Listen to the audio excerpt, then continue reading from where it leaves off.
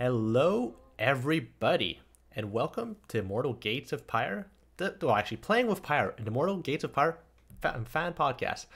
We cannot see their faces, and I'm going to try to fix that immediately. As uh, yeah, I can't see Dom's face, so let me fix that real quick because I want to see his face on stream. Hey Dom, how you doing? I'm invisible. Oh, you're back. Oh, I am. Oh. Yeah, it didn't last long, unfortunately. I get to be invisible. Uh, you know what? And Zard appears. Hopefully Zard appears. There we go. So, hello everybody. Uh, sorry for the technical difficulties. Zard forgot he can't teleport home. Uh, he will know next time that it takes a bit longer to get home, but that's okay. Uh, we have him now on stream, and we are very happy to have him. We have a fun episode today where we are mostly going to focus on 1v1 as uh, last week we went a bit about overall about Immortal, and this week we'd like to concentrate a bit more on the meta, what's happening, especially with uh, the tournament that just happened with a few upsets, but won't spoil you spoiler you quite yet on who the winner is.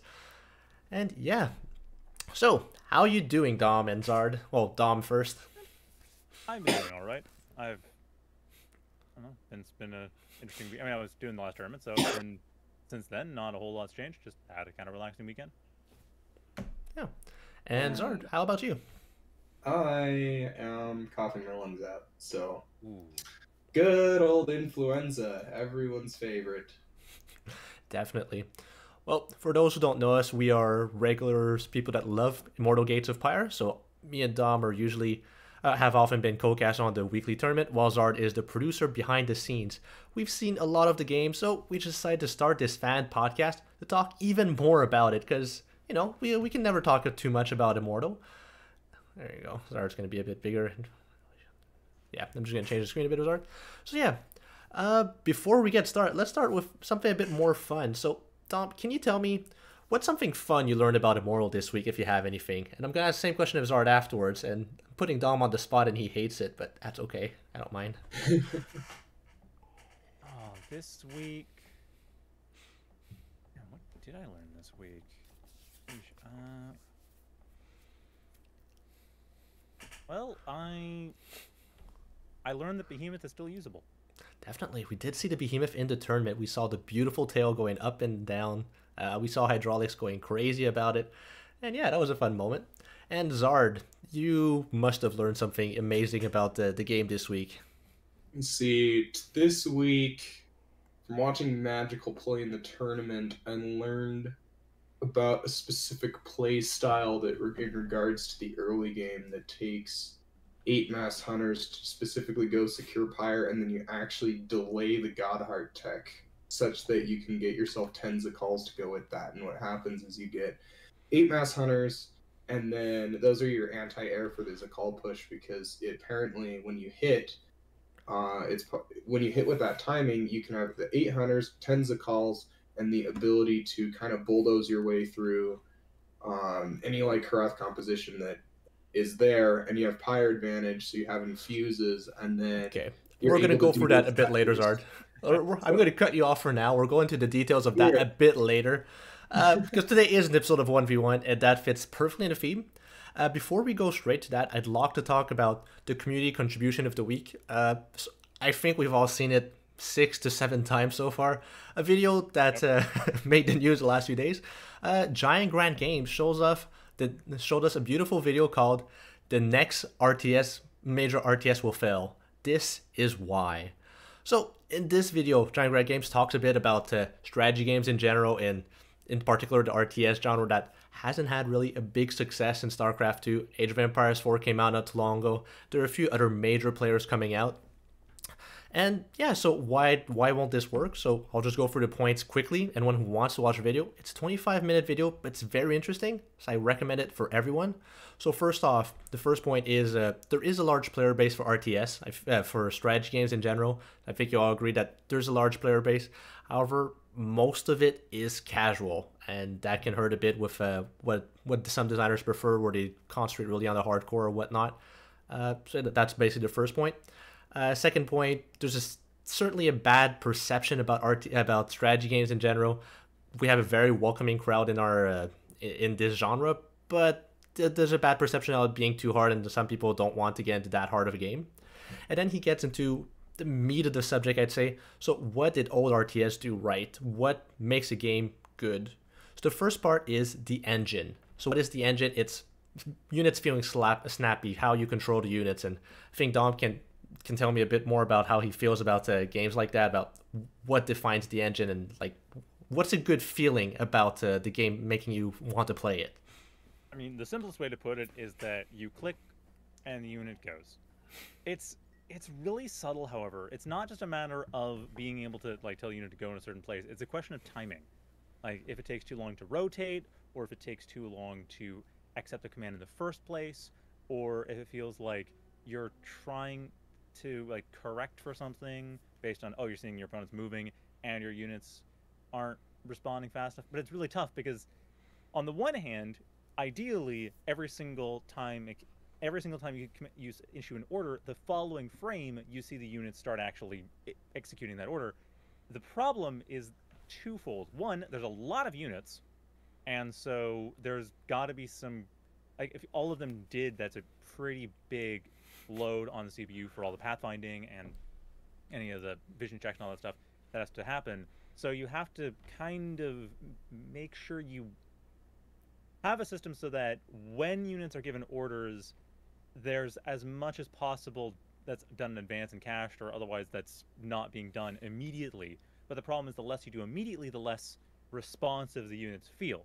The second problem, of course, is networking, which compounds that because now you have to deal with synchronizing that across the network. And if you're dealing with a lot of units, or if you're dealing with a game that, say, has like actual physics simulations involved, then that can involve a lot more processing time and also a lot more network data. So then you're trying to optimize for that, which can then lead to situations where units may only respond to your commands after like five or six frames, which it can feel okay. It can feel terrible. I mean, original StarCraft only would take your orders once. I think every like 12, 12 times a second, I think. So effectively once every five frames. Yeah. Which that... doesn't feel the worst. But the point is that it, there's all these trade offs.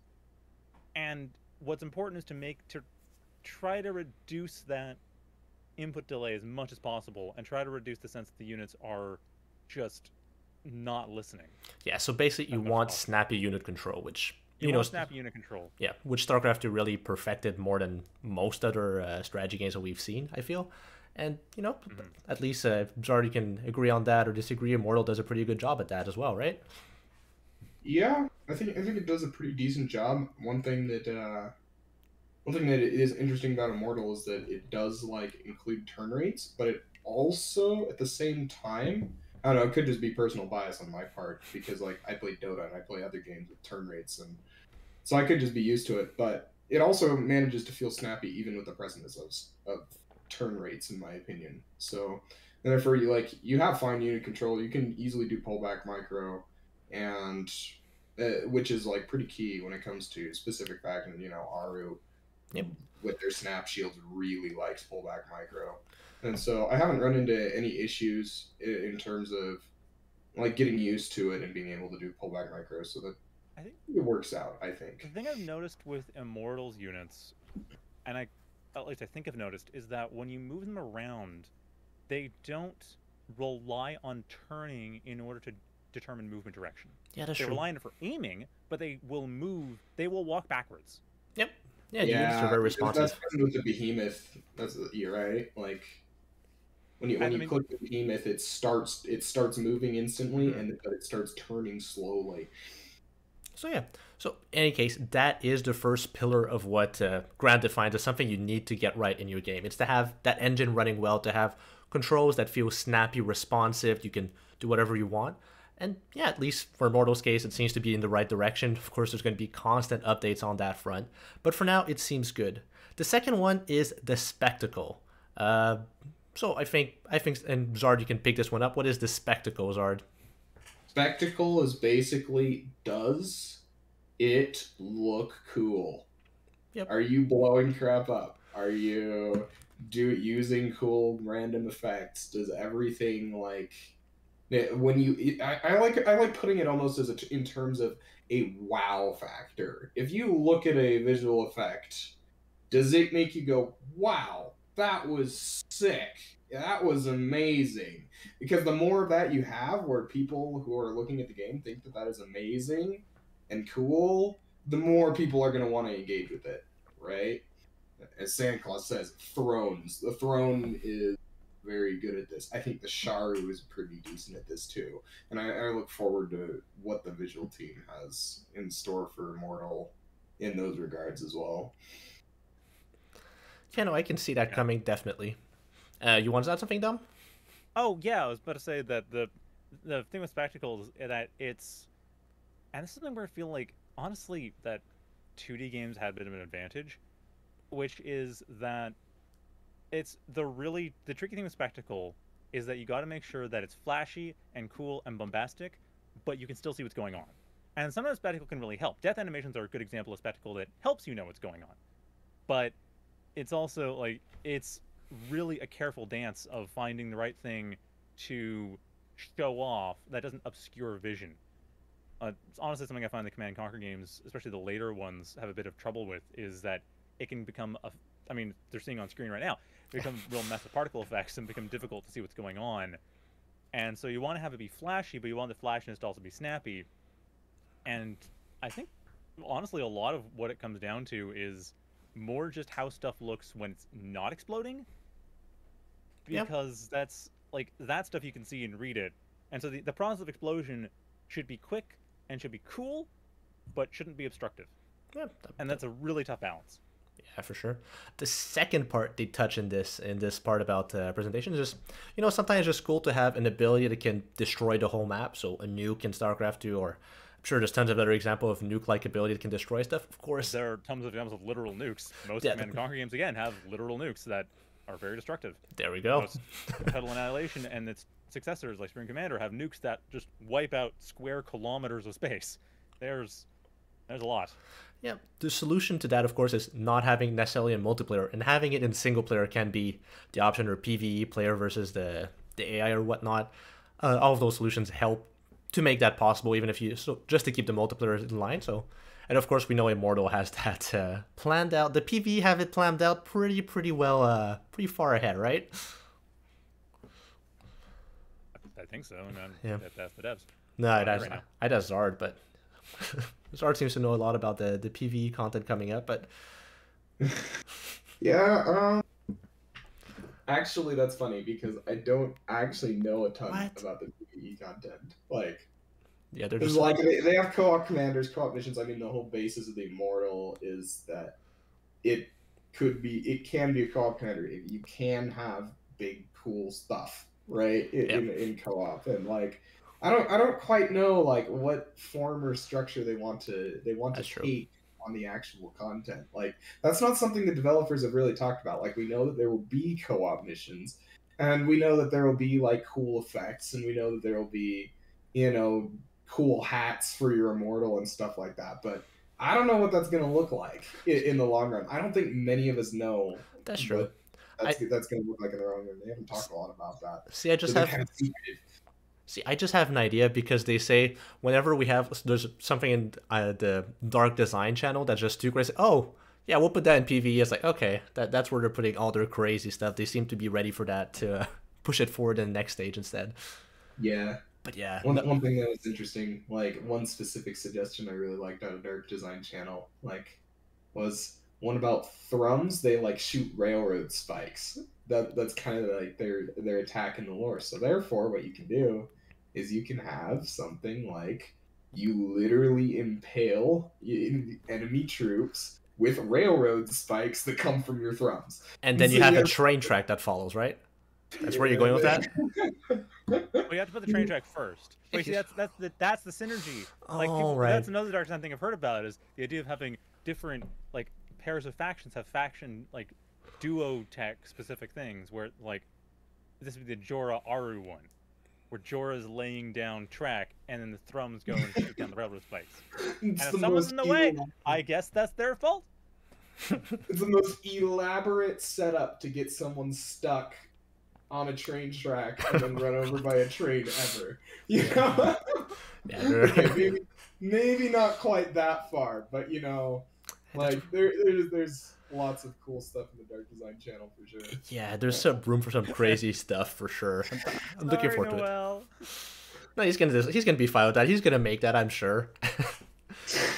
In any case, we can head to the final category that he uh, that Giant Grant Games talks about. It's the dev tools. So what he means by dev tools is having community map maker. So in Warcraft 3, StarCraft 2, StarCraft Brood War, they had a huge, huge, huge uh, map editor that let you create your own games. Where genres like uh, well, MOBAs came out of this, tower defenses came out of it, and he just vaunts the, the merit of having something like that in your game to allow allow allow users to make their own content. Any thoughts on that, Dom? so this is three things. Yeah. Actually, this isn't a map editor. This is three map editors. The first is one that almost every game gets right, and in my personal opinion, I think that while Blizzards are good, I think my favorite one of these is Rise of Legends, and that's the terrain editor, Mm, which is the thing that actually controls laying out all the ground, laying out all the doodads, laying out any like decorative stuff, laying out where you spawn, laying out any of the neutral stuff. That's part of the game. All laying that stuff out, and that's something almost every strategy game has. There are very few that don't because it's very easy. Like it's something that you're probably you're going to build in the process of making the game, and it's something that's fairly straightforward to expose to the user. yeah, because the dev also need to make the maps, right? Yeah, exactly. Yeah. It's, it's not that big of a difference. The second thing is data editing, which most games get to some degree, where you can modify what the units are, like different stats, different. Like sometimes you can modify their place in the tech tree or other requirements, that sort of thing, or what builds what. Generally, like name, stats, that kind of thing is the easiest thing that gets done, and that's fine. It can give you some interesting little mutators or mods. It's not the biggest deal. It's an important component, however, of the last one, which is the scenario editor. That is the Mhm. most important thing, and that's the thing that I would argue Blizzard's the only company that's gotten right. Ever. I have never seen any other game with a scenario editor that didn't requ- that worked. Like I've seen a couple of games where you could theoretically do scripting like Lua scripting or some kind of proprietary language scripting that you could then kind of make work. But that's really unintuitive. Like that's that's a lot to work with. Even if you know, even if you're a professional mm-hmm. programmer, it's still, you know, still have to write code as opposed to the way that Blizzard's games have ty- typically done it, which is very much this kind of snap-in system, where you just have you have triggers, and those triggers just do various things. They're they're just event. It's just an event loop, and you just set what is going to trigger that event, and then what that event triggering will do. And StarCraft 2 is a little bit harder to navigate this way. Warcraft 3 was amazing with this, and still had Oh, a yeah. scripting back end if you really wanted to.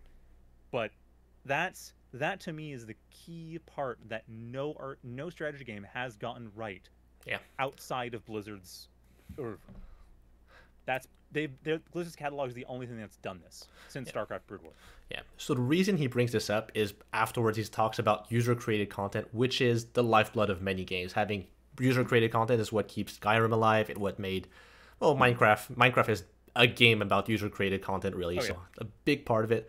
And of course, there, there's a few examples of games like that. User created content is what makes the game go. But I see Dom, you want to say something right now.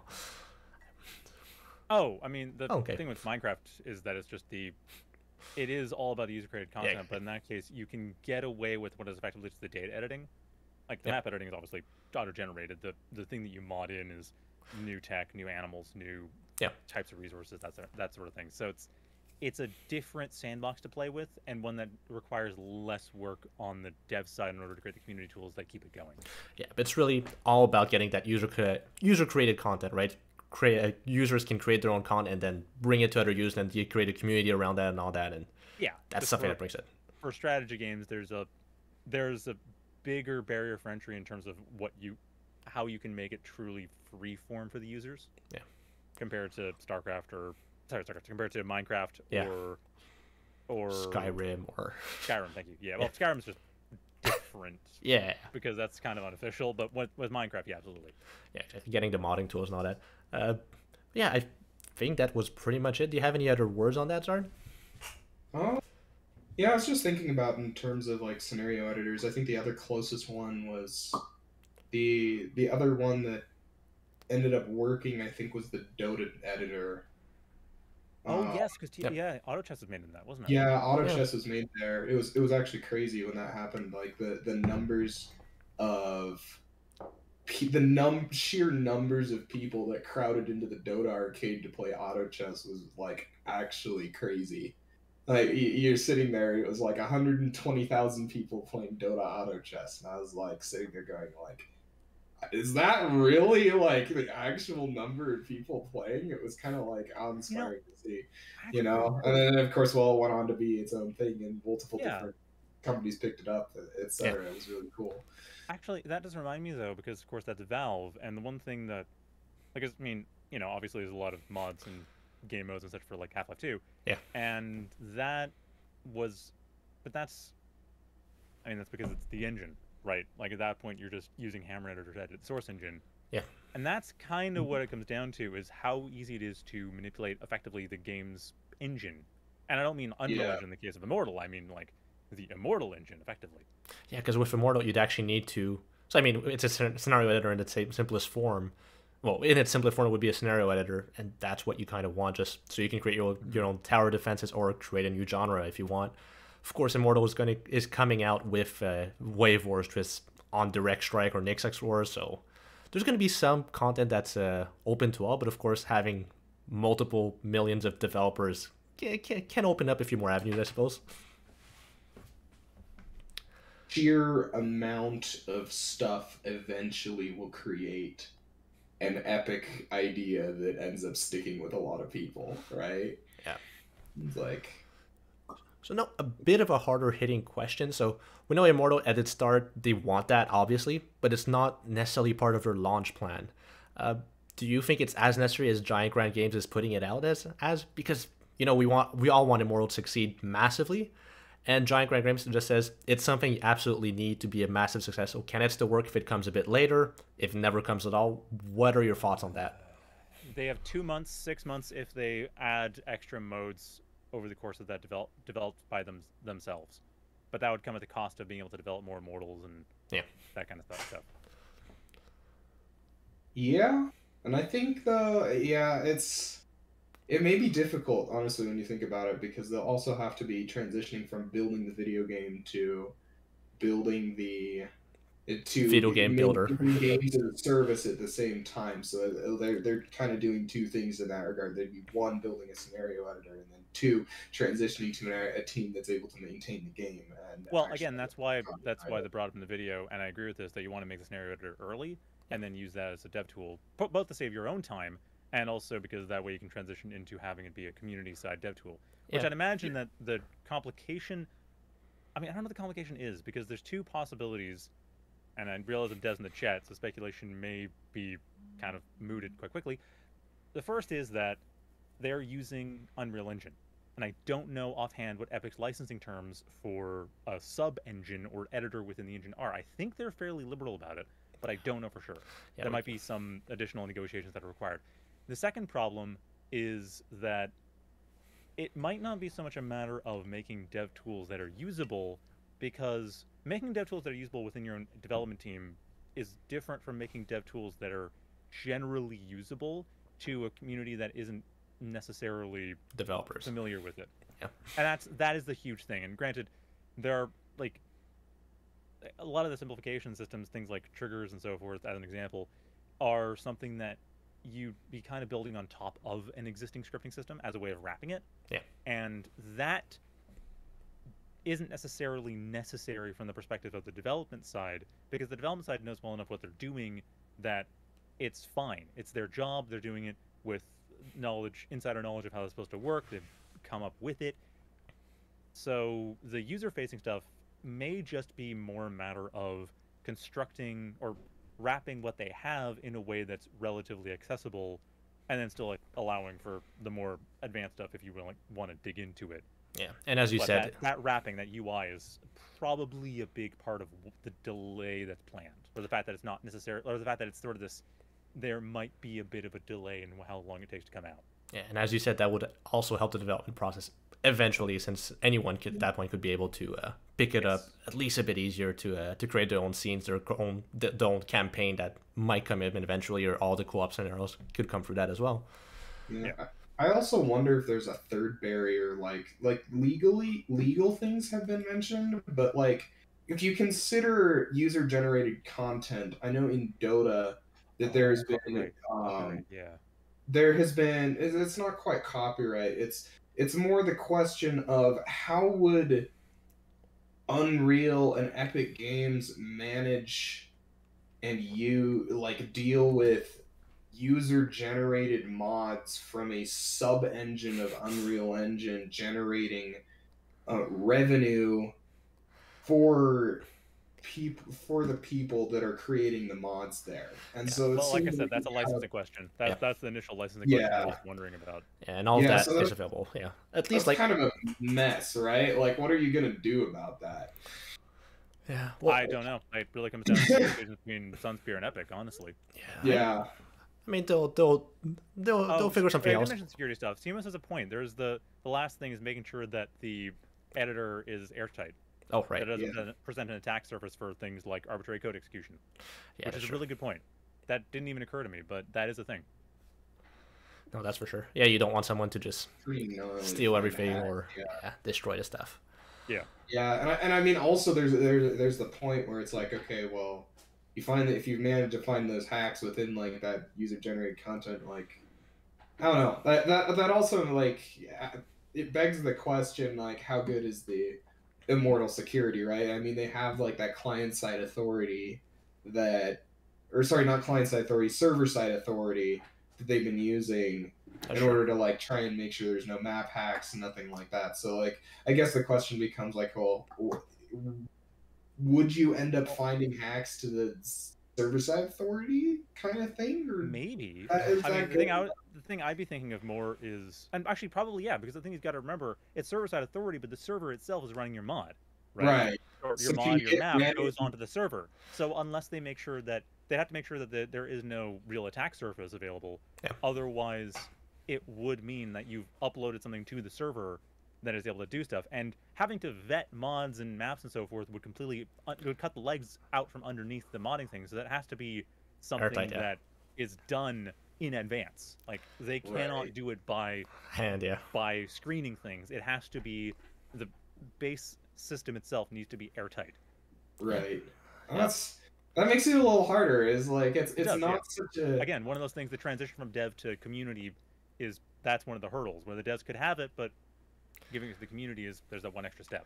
in any Yeah. case, I think we've gone up on most of the subject. Like Seamus talked about security, and yeah, uh, but yeah, no, that I do think this was a great video by Giant Grant Games, and as you said, I think the user generated content is pretty key. But is it necessary? Well, we'll have to see if uh, if, if Immortal doesn't start with it. And yeah, well, that's uh, I think that's it for uh, for this subject on the Giant Grant Games. And yeah, a really good, uh, really good video, I think. Was yes. Yeah. If you Yeah, haven't watched it yet, go go watch that video because we did what we could to avoid repeating points. So Grant has his own points on this stuff, which are worth listening to. Yeah, definitely.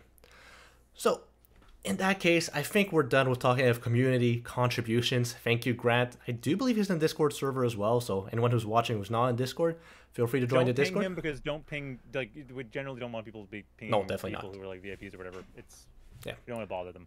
Yeah, definitely don't ping them. Uh, but yeah, feel free to join the Discord. Uh, you can talk. Uh, you can talk with different community members. Talk about what they think about the video. Post it one more time so we can talk about the video all together. And yeah, every single time it's posted, there's been talks popping up about it. So I don't mind if it comes in eighth, ninth, tenth. Okay, actually, I would end up minding. I would mind after eight times probably. Well, it's one more time. One more time to find out. In any case, I think we're ready to go back to full on Immortal. Of course, this was pretty linked to Immortal, uh, but full on Immortal. And the past week, one of the major things we had was a patch. So we had pa- patch notes we can see in game updates. So I'll just go through what I think are the main points. Uh, first one I want to bring up is co-op has some updates. So UI is a bit clearer. You uh, you can there's some levels. Everything's a bit better for co-op. Have you guys tried co-op yet? Since the patch? I haven't had a chance to since the new patch. No. Mm. I have not touched co-op. I'm a competitive Fine, fine. one person. I touched it before it did that. I'm I'm really curious actually because I found when I was doing co when I played through co-op it wasn't so much the lack of scoring, it was just that the whole thing was really unclear about what was supposed to go on. So maybe they've adjusted that too, and I'd be I expect they probably have. Oh yeah, So- they have. Yeah, yeah, yeah. Yeah, no, yes, definitely. they actually have explained that. That's perfect. That's the change I really like to see. Yeah, no, exactly. So you have five base you can take. You have enemies attacking you constantly. You can upgrade your score by killing the other structures, and then you lose because you destroy the structures, and there's more and more enemies spawning, and you can't deal with them all. Uh, so yeah, cool. That's how that works. Oh yeah, there's only 20 Oh. waves now. There's max 20 waves. Oh, see, I didn't see. I didn't realize that build, killing structures was what increased difficulty. I thought you just had to wipe it all out, and so I started wiping it all out with the person I was playing with. And I mean, we actually ended up basically wiping it all out, but then stuff respawned, and I thought, okay, well, what's supposed to happen? Yeah, no, so yes, they've added text. That's great. That I should really try that again then. Yeah, and actually, all the structures are also defended, so there's a lot of omnivores and stuff. So you actually have to kill stuff to. Uh, you can't just kill it with nothing. There's stuff defending it, so it's not as easy as you'd think. So, actually, a nice co-op mod for now, and I encourage everyone that hasn't tried it out to go and try it out. It's a, a fun time. A second update, we have uh, another UI update, I suppose. You can't uh, block town hall placement platforms or tower foundations by placing structures right next to them. So I like this one quite a bit. Just you know, general quality of life stuff that you won't block your buildings from creating by placing something too close. Pretty nice. Not uh, much more to talk about. And now we will talk a bit about uh, the balance changes. So first one, the Saoshin rework. Zard, take it away. What is the Saoshin rework? Saoshin rework means that if you cast their leap, they no longer give everything in an AoE 90% damage reduction for three seconds, which means that the Saoshin no longer fits into literally every role in the game. That those those roles being a frontliner, a I won't say a generalist, but a frontliner, a dislodger, a let's see, uh, what, what was the control, other? type? arguably. Zone control as well. Like uh, zone control, you have you have a healer, so you have sustain. It's a support unit. It's a force multiplier. It's a it's like I think that's four roles uh, off the top of my head. So Like, Saoshin was powerful. When it's supposed to be support Yep. and slight dislodger. right, like Air denial, yes. Yeah, it it was it was ridiculous, and so. No, that's A- magic. Air superiority, yeah, it actually filled that role because it would give your Sharu 90% damage reduction. And so therefore you couldn't actually kill anything that they had in the air. It was really Right. ridiculous. So yeah, it it got a nerf, and so now what we have instead is a full. It's an enormous heal. It did that to air units. Yes, you Yeah. could not air. You could not run Aerox into your opponent's Sharu.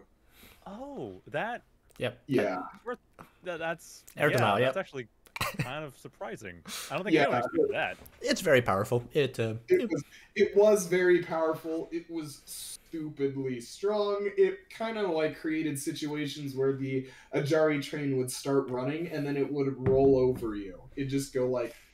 Vroom, and then you die, and you're like, well, what am I supposed to do? I, I guess I was supposed to just meet the Saoshin right outside the base over and over and over again because if they ever reach my front door, I die. So Yeah, it's, it's it's the it's the meme of how do, how do I stop Saoshin? Step one, don't let them get Saoshin. and then the Saoshin is a tier 1.5 unit, and you die. So okay. It wasn't that dire, but yeah, the Saoshin was very powerful. I don't want to it say really it was very powerful. You could, you know, stop it from setting up near you. If it sets up near you, then you're a bit more in trouble. You had to pick it up on the map. But yeah, it was hard to deal with for sure. So very happy with the nerf. As you said, it heals a lot of HP. Uh, it also has a leap ability. Its leap ability is mixed in with its heal. It also auto heals if it's low on HP. So a lot, lot, lot of uh, good changes there. I, I appreciate that too because what that means is like it's a very committed sort of heal where you go and you exchange your unit's HP for your opponent's HP and then you pull them out and then you heal them. So it's uh Well, see, if the Saoshin are also the frontliners, that means they're going to get attacked, and then they'll heal automatically with anything around Yeah. it as well. So that's a Yeah, and also it's less of a. Also, I think they changed a thing. It's a subtler thing, but I believe it was this patch where they changed it so that they land where you told them to. Yeah, Yes, it is this yes, yes, it is They this land where you told them to. It's it's a low key feature, but my goodness, do I appreciate that. oh yeah. I mean, I haven't played Ajari much recently, but still, that was so frustrating. So like, I just want to point that out that Saoshin Leap is working now yeah. in terms of position. That's going to be great It's for also Underfink really cool, having some ability. It's also really cool too because the Saoshin actually have the ability to leap even if they aren't full mana at this point. So Yes. that means that you can actually save your Saoshin. Uh, they they can leap in, they can heal themselves, or they can run in and then their heal pops, and then you can leap them out, and you can maintain your Saoshin so that way they can use their uh, Yeah. they can use their ability next time. Yeah, I hope that's Yeah, how we be end fair, up you're seeing doing that it. with a bunch of Zephyrs. You're doing Yeah. a bunch of Zephyrs. You leap back, you heal the Zephyrs on your way back. Yeah. Well, also it's a 10 second. Yeah, so you can't leap forward and back. So it's like, yeah, you go forward, and you run away, and, or the opposite, you jump into the fray. But both of them are going to be uh, good ways of using it. Uh, yep, let's go to the other big update. So the scepter redesign. You could- you take it away, Dom. So Scepter, Scepter cannot be fully designed yet. There are some stuff that needs to be added in the game in order for it to work as intended.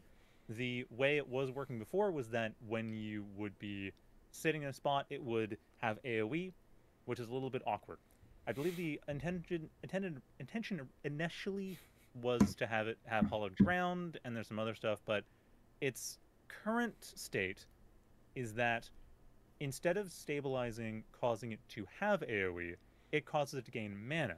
Mana consu- is consumed per AoE shot, but it gains mana relatively quickly. Like gains mana quickly enough that it can just keep firing AoE. It's very clear, however, that was one of the biggest things because stable, the stabilize mechanic is still a little bit unclear UX wise, so it makes it a lot clearer. You see it as mana. If it's mana, it does AoE. Which also means that if it's move, it has to move slightly for whatever reason, it might still be able to get a shot off because it only loses sec- mana as it's moving. But if it's has a lot of mana, it might still get some AoE shots off. It's a little bit more reliable. From what I remember, this is actually intended design. Um, Oh, is it? Close Oh, range. cool. Yeah, and and to, and to make it more clear, it's when you stabilize, then they start gaining mana. Yeah, when once it moves, it loses its mana as it moves, if I remember Yeah. right. It loses it loses mana while moving. It gains mana while standing still. It loses mana faster than it would gain it, but it gains mana faster than it shoots. Yeah, So yeah, Scepter redesign. So big difference from the old patch where now well there's a cost to moving in and everything, so that's gonna be nice to to see how it turns out. Of course, we did see some uh, play from the tournament, so we'll wait a bit before we go for that clip. Uh, before we head to the tournament, I just want to talk about the one v one meta in general. Uh, so yeah, one v one meta. How do you? Well, actually, I want to start off by talking about the maps because there are a few maps that we have. We have two. Uh, we have two maps that we currently play in one v one. Uh, let me just show them on the screen. Since I get that, there you go. I'm gonna show it in a second. And here we go. So the first map is Frontiers. Uh, Frontiers is of course one of the first maps that was the first map that was made for uh, Immortal. Uh, but however, it's not played much anymore. Dom, do you have a, a good reasoning as to why it's not played anymore? Hmm. It's small. Yeah. I mean, it's not. Okay, so the thing is, Frontiers isn't a bad map. Lost Province just enables a lot more, and also enables a lot more if you're doing 2v2. Frontiers is really only good in 1v1. And once Lost Province dropped, everyone just moved to that. So I don't think Frontiers is bad. I just think that people had played Frontiers to death, and then Lost Province came out and just enables more macro play, which is fun. So that's what people move to. Any what I thought- think about it Yeah, any thoughts, is Ryan? what I think about it is that it's small, as he said, but it's also really constricted. Like True. if you look at the way the map is laid out, there's only like one entrance to each base. So therefore, if you wall off, there's not a lot you can really do in order to harass your opponent other than building air units. And so therefore, what you end up with is there's just not a lot of ways to really harass your opponent. So that's interesting. So you think in the future most maps will have all the mains will have multiple entrances, or just transport will fix that, I suppose, or what are your thoughts on that? Some combination of transports fixing it, and I think having a less constricted map. Like if you look, like you have this main base down here in the bottom right, Yep. and then just north of that, that's where your uh, that's where your expansion is normally. Like this right here, you have kind of two entrances into here. One of them leads to your third base, and with a tiny ramp right there, which you can just wall off. and then you have like one entrance here, and then you have a tower covering the other entrance. So there's like two places that you can kind of poke your opponent, and both of them can be easily covered by towers. And so, therefore, what you end up with is this giant fight for the middle, uh, where you can't really kill your opponent unless you have like an enormous amount of pyre or you have dislodgers. Hey, at least there's a lot of destructible rocks there. That's something I, I, I approve of.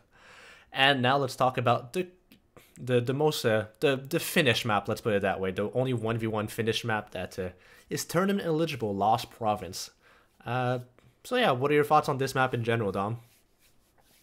This map is one which enables a decent amount of macro play and a lot of pyre play. Yeah. I mean, the two camps and the two pyre miners combined gives you a, lot to fight over in the center. And then the fact that you do have maps, or do have expansions along the corners as well, means that you are also fighting along the corners. Because it's, I mean, general rule, people want to go down straight down the middle from one base to the other. So having all these expansions in the corners obviously makes for more pressure to go to the sides. Although typically, as we we see, players won't really do that until after they get their third, because the thing with this map is that, much like Zard was saying, one there's kind of one-ish, one and a half base entrances, and they're not too hard to wall off. So again, your first, your main and natural are very easily defended, and the rest of it is extremely vulnerable.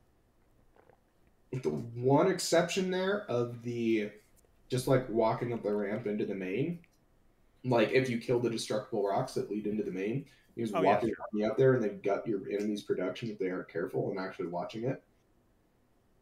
Yeah, So, that, is, like- that is the one saving grace Yeah. in terms of harassability, Yeah, so we'll see. and it's a big saving grace. It's Yep. it's very much worth noting. You're right, Zard.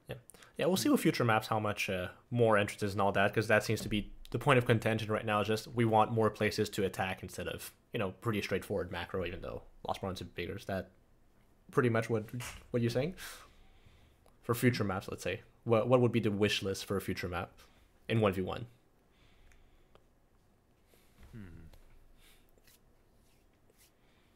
Hard to say, right?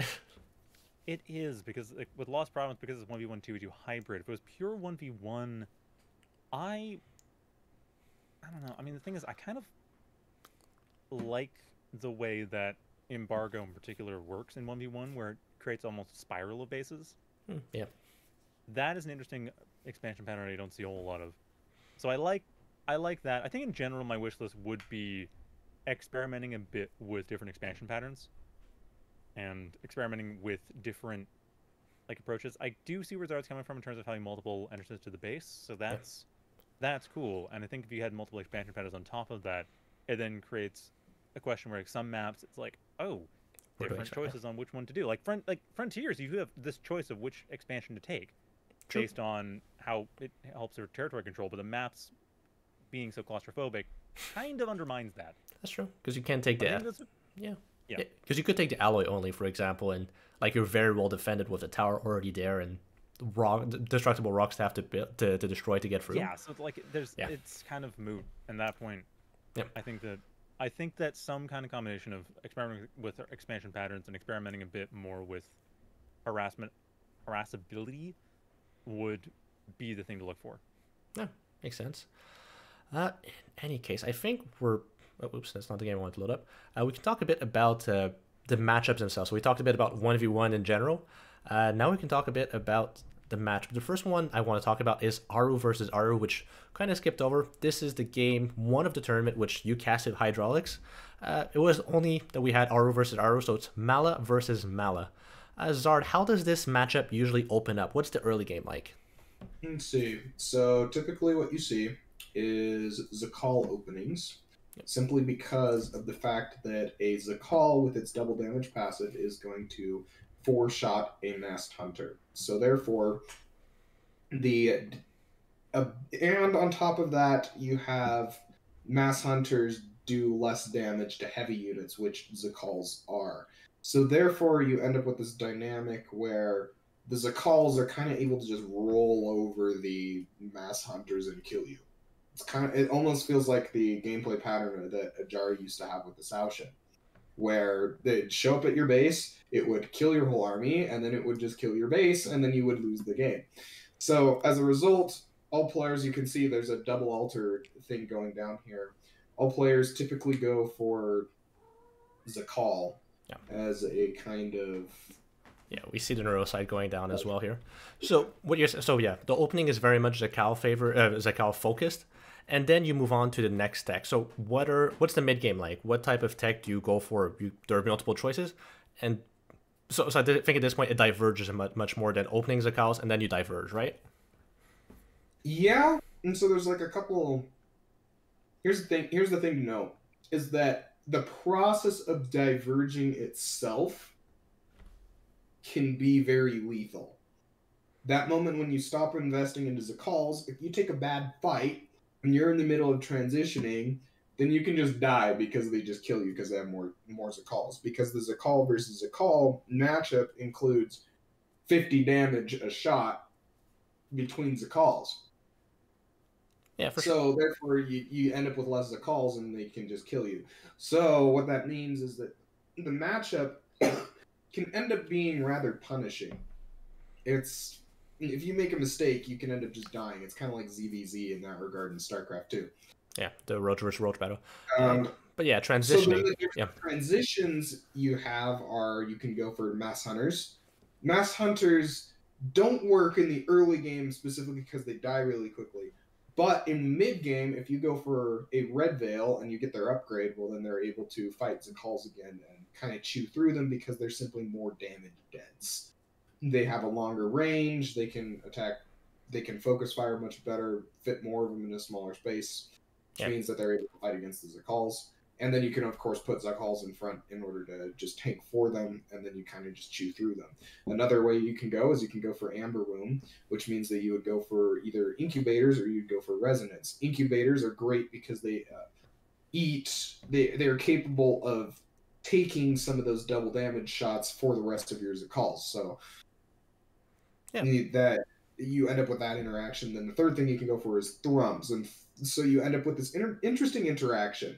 You end up with thrums being able to beat amber womb transitions because amber womb transitions struggle a little bit with dealing with thrums and shooting up specifically. You have the ma- you have the amber womb transitions are able to deal with the mass hunter transitions reasonably well, and then you because incubator good unit, and then you have mass hunters which are able to deal with the thrums really well because if you have mass hunters are pretty cheap and if you have them in large enough numbers in certain your base then you're able to just kind of kill the thrums. And on top of that you have stuff like dread sisters where you can just root the thrums and then kill them with your mass hunters. And so you end up with this kind of rock paper scissors kind of interaction that's really interesting to play with in the in the matchup Yeah, and also although in this tournament we only saw one, well actually one game total that we saw in the in the casting games at the very least. Uh, yeah, Pigeon Wrench mostly just goes for what was it? Do you remember Dom what he went for? Let's see. They were going. Yeah, Zakals into what transition? Because as you they said, there's thrums. yeah, They were going hard into thrums. They were very much harassment based. yeah. So yeah, that's basically a bit the matchup. You have the harassment based options, Oh, a very strong option. Okay, Yeti pointed out that there was actually resonance, and I completely forgot. My bad. Okay, so resonant base, so very powerful ground army that can take control positions. Okay, and yeah, say say oh, you that's right. Yes, we're watching the game right now. Yeah, I know how this goes. Yeah, because at the resonance, and they get yeah they manage to surround Yeti and take a bunch of their army out. Well, Yeti Actually, surrounds them, but Yeti loses a bunch of their army to the resonant, and then the resonance they all die, but that's fine because it's still an advantage to yeah to Pigeon Wrench in terms of having their army built up. yeah. It often comes down to yeah, there you go. Yeti's going for the Thrums, but they're not really able to harass because he wants to kill the army of the resonance right in front of his face. And then reinforcements come in a bit faster and all that. Okay, yeah. And then finally, uh, so say we have different type of Sorry, Yeti was the one going for thrums. Yeah, exactly. So how would you define the end game? What's what's the ideal end game composition you want to go for in Aru versus Aru? What do you think, Dom? Uh, Let's I go for thought Zard. Ask Zard. Zard? Zard's gonna go for has, it? Has many thoughts on this. Go for it, Zard. think. Aru versus Aru. What's your ultimate eight, late game composition that you'd want to go for?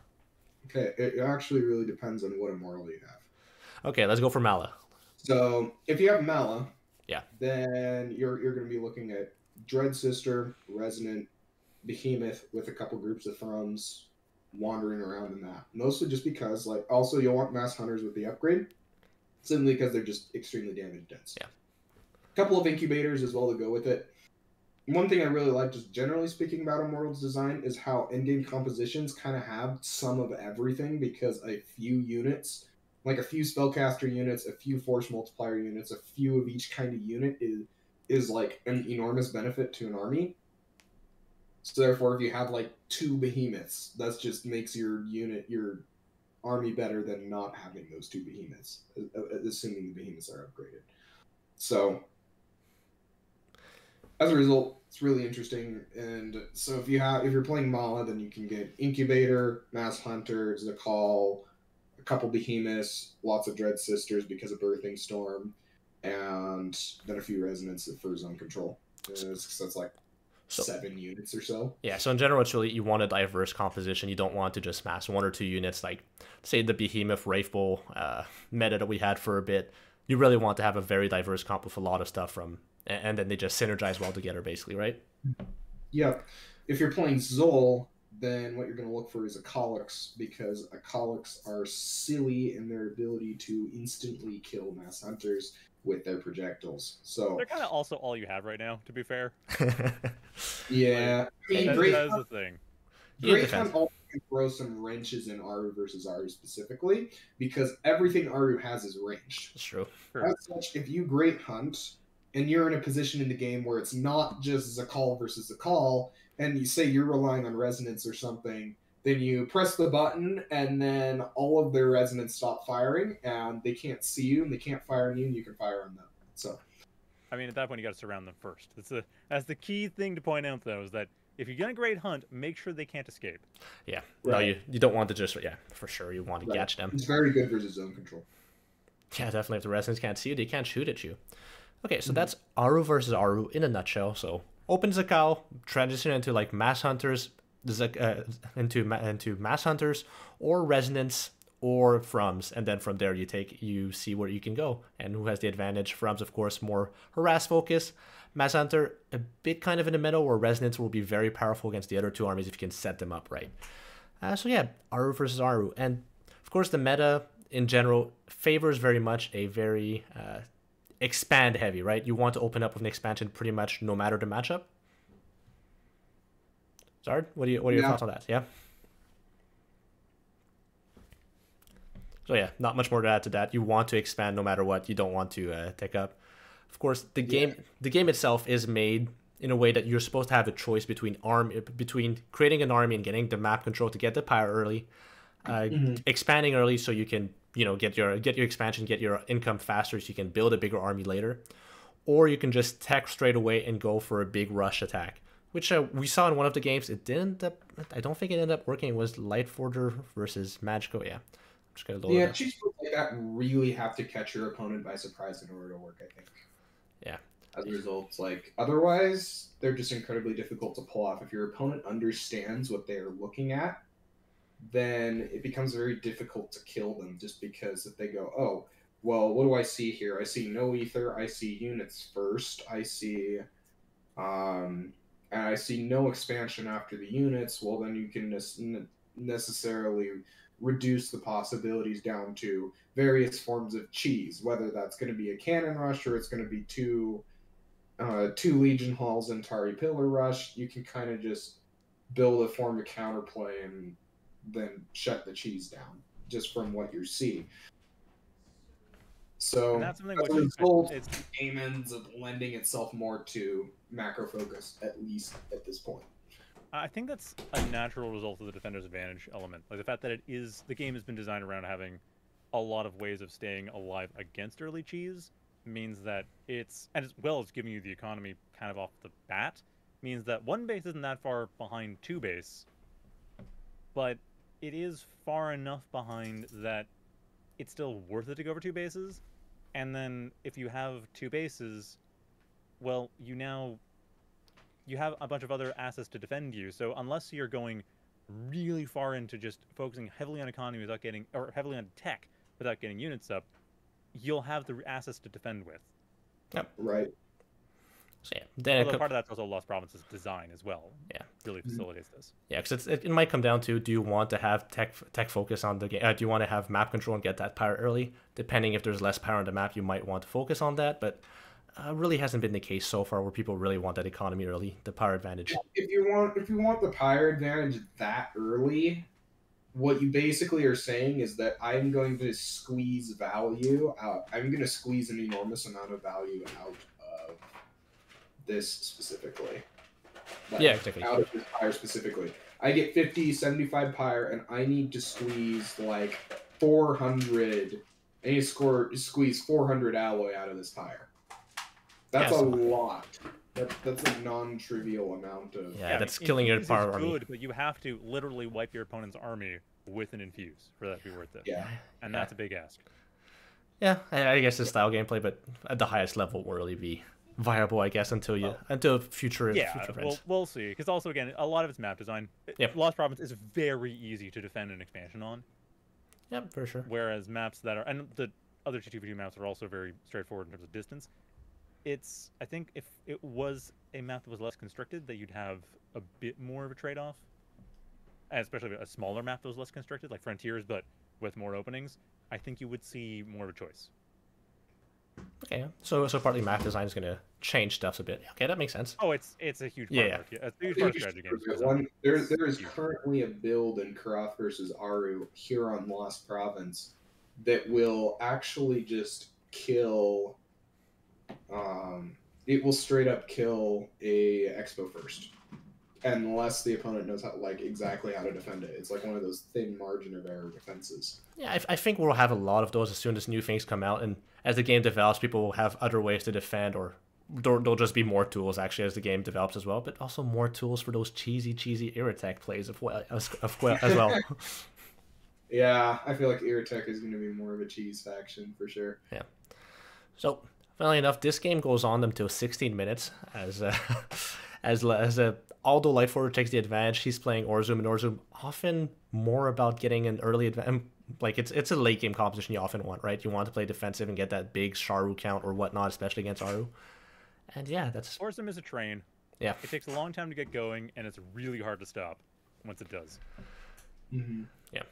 And okay, let's just show. We were talking before we let off as uh, the, the stream's about to end. We talked a bit longer about Giant Grant Games, but I think it was a good talk worth having. I want to show off uh, the game that wasn't streamed. That, uh, you know, the. No, wait, that's the, The wrong. Crash. Yeah, the crashed game. Let's talk about the crashed game and show off the power of the scepter in that. That was pretty cool. Magico says that uh, the game only lasted long because he refused to A move. Okay, I can't believe that, Magico. That's fair. That is true. Yeah. It's not that you just don't want to take the risk, right? We've seen a lot of games end up. Uh... There we go. Crash game. There we go. Thank you, Yeti, for observing this one. Won't be Zard for once. You see the time it goes on. So we had the game until about what? Uh, three minutes in. Yeah, nothing much happening so far. Zakal's there, was coming. one, there was one push, and the push died. And then it was like, oh, I guess it's even, because one side is Saoshin, the other side is their calls. Who knows how this is going to go? That's where we left off. Yeah, so you said generally you can open Mass Hunters to begin off, right, Zard? You can open Mass Hunters in in uh, Aru versus Q'Rath now instead of uh, just going Zakal straight up. But you still need to go into Zakals eventually, right? Yeah. It's mostly just because, like, if you only go for mass hunters, then the moment the Soul Foundry finishes, they will have Dervish, and Dervish absolutely destroy anything that has to do with mass hunters.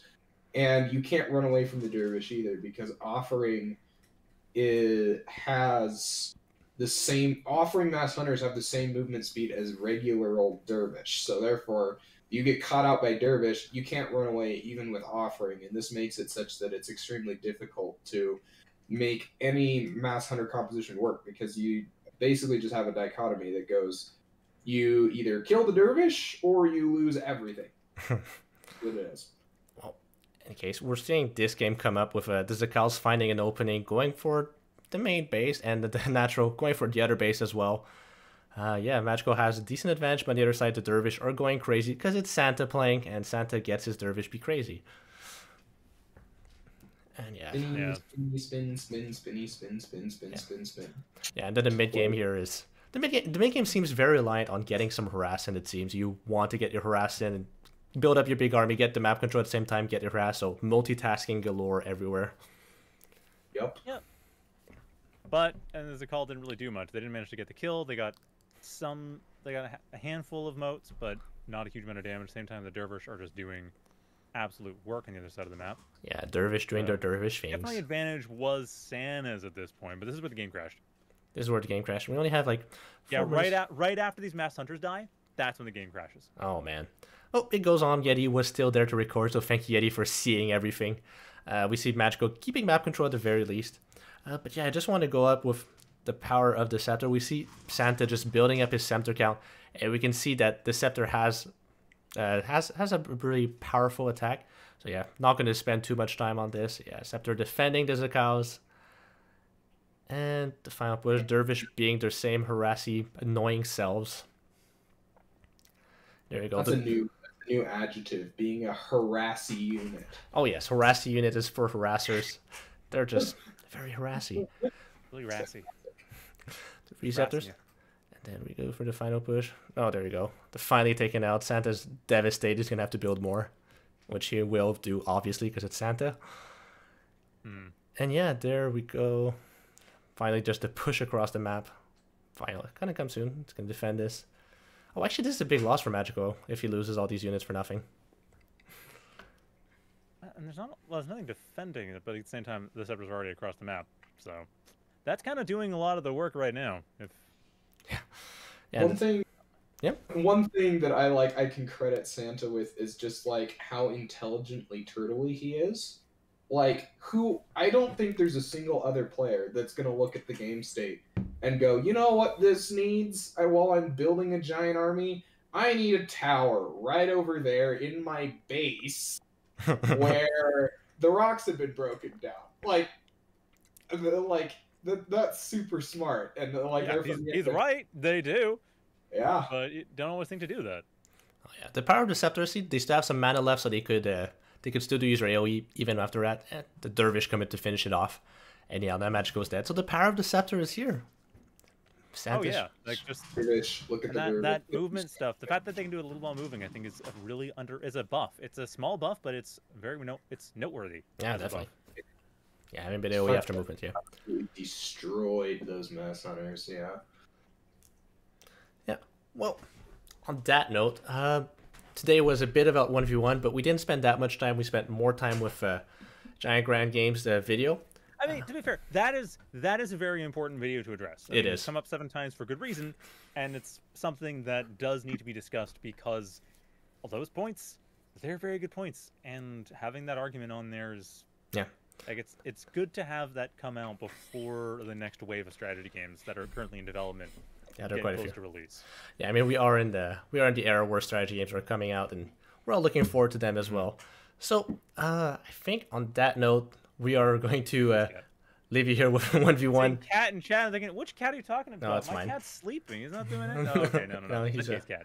Yeah, it's my cat, Melu uh, Momo. Uh, but yeah, Andre's Andre's sleeping. Mm, yeah, the cats the cats sleep often. So yeah, uh, we talked about one v one. I think next week we'll cover the rest of one v one, how to use it, and everything else. And yeah, if anyone has uh, more suggestions, feel free to join the Immortal Gates of Pyre Discord. That note, uh, I'm ZKay. You can find me on Twitter at ZK012, which links to all my other social media. Uh, with me is Dom. I'm at Dominic S on Twitter and Twitch, and Shadow Fury 333 on YouTube because I was a thir- I was a teenager once. And finally, Zard. You could find everything about me just by googling Zardecil. There we go. He's the only. He's the one and only Zardecil, so he's easy to find. Lucky for him. And yeah, on that note, uh, thank you for watching. We'll be back next week at 9 p.m. EST or EDT at this point. I'm not going to convert to other times because, uh, well, you can convert it yourself. Thanks everyone for watching this week's episode of Playing with Pyre. Good night.